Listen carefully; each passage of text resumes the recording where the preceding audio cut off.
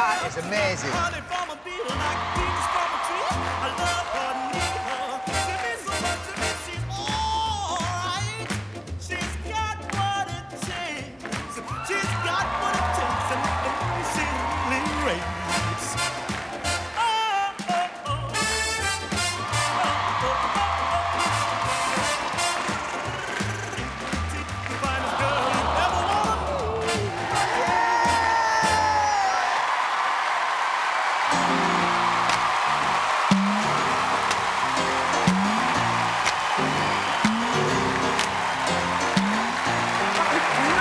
Adorable.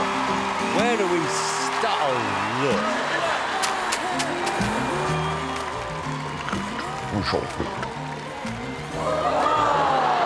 Go on, you can do it. You can do it. You can do it. Good boy. Good boy. Stay. Uh, Amanda, you love that. Oh, I loved it so much. It was just the cutest thing, especially when they kind of rolled over. They were like the tide coming in. You have done an amazing job with them. Like everybody knows, it's difficult just training one dog. You've got five of them. I honestly applaud you for that. Thank you. David. Well, the good thing is Ant and Dec can have a ride home on their backs.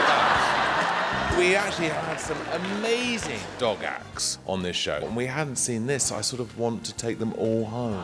They are absolutely beautiful. An interesting fact about Dachshund sausage dogs, whatever you want to call them, uh, is in the future, police dogs like German Shepherds and things like that, they are going to be replacing them with 50 of those to every one German Shepherd. Really?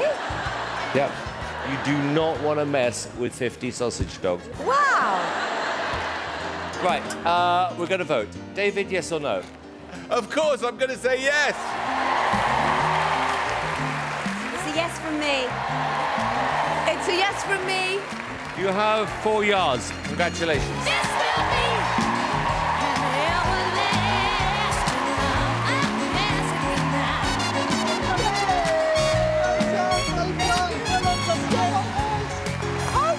do you that fact? I just know these things. They're going to replace one dog with 50 dogs. Yeah. And that's easier, is it, than Yes. having the one big dog? Yeah, there's no way. That doesn't make sense.